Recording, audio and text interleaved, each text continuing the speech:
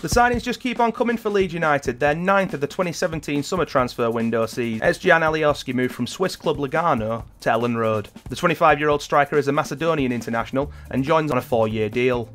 Let's take a quick look at his career up to this point. Alioski began as a left back for the young boys of Bern, moving to their senior squad side in 2010, scoring 4 goals in 57 matches. January 2013, he moved to Swiss club second division FC Schaffhausen, originally on loan before making the switch permanent. Whilst there, he appeared for the club 77 times, scoring on four occasions.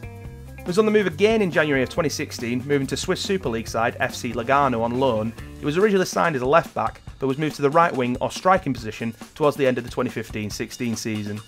In June 2016, he made the move to Lugano permanent and had a terrific last season in the top flight of Switzerland, scoring 16 times and gaining 14 assists. On the international stage, he's represented Macedonia at various youth levels and made his senior squad debut in 2013.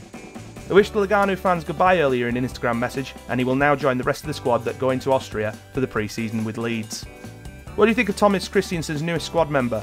Let us know in the comments and be sure to follow Radio Yorkshire for your latest Leeds news.